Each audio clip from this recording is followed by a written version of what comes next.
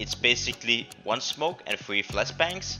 And then you basically can have the whole control of the A area here.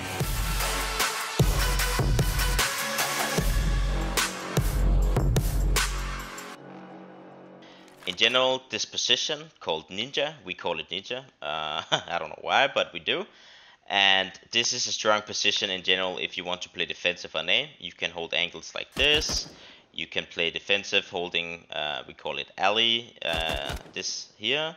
So in general, it's just a strong position, getting information and, and playing defensive. Um, but you can also do a little bit uh, specific things with it. Um, you can Molotov the A side if they're executing like this, you know. So if they're trying to get the bomb plant down, uh, it's gonna be a really good Molotov, you know, and pretty easy for you to just like right click it like this. You don't really have to do too much about it, just around here, and then you throw it. You can also, if you have a teammate playing around alley, you can do, you can like flash for him, you can smoke, uh, smoke it up, and stuff like that. So in general, you have a lot of op options around these positions.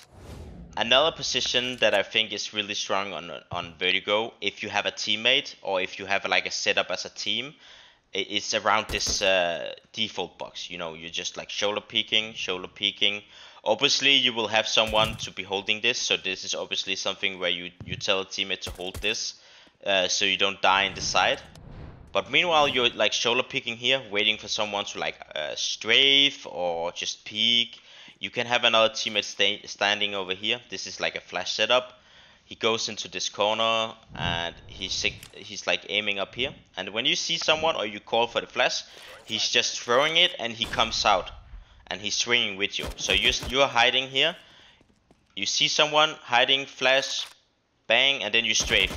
So you're like two guys strafing on the same flash. So that's a really strong uh, flash setup on A.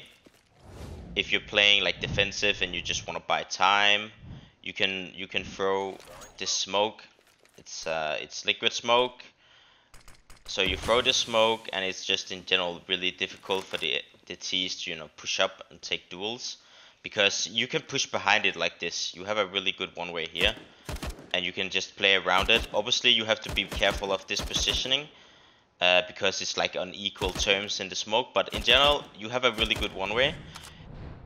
So the first guy with the best spawn, he just goes so and he just runs and he just keeps running here and he just keeps running and then when he once he gets here he kind of like stops up around here and then he he aims up above here so he can throw this smoke uh, down here. And what this smoke does is that he can run out and he can run through the smoke. So the first guy he throws the smoke and he just keeps rushing. And he at the same time when he get gets here he throws this flash and he just runs with his back throughout here through the smoke.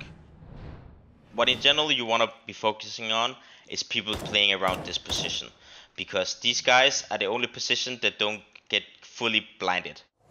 The second guy, he just goes with you and this smoke is gonna be here. So the second guy, he comes out, dodges flash and he, he fights here. He comes out here and he's fighting with you. And that basically what the third guy does as well. This is like a four-man setup on A. The first guy rushes down, the second and the third guy comes out here swinging and fighting uh, on your contact and ready to fight and help you and get away. So what the last guy does is in the beginning of the round, he goes to this corner and he throws this, these two flashbangs here.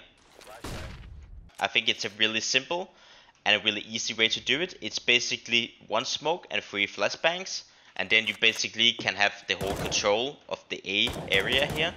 So yeah, I think you should try it out, set it up with your teammates, and in general, just try, try it out in pugs. Yeah.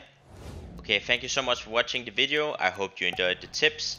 So subscribe for more content and tutorials, and see you guys next week.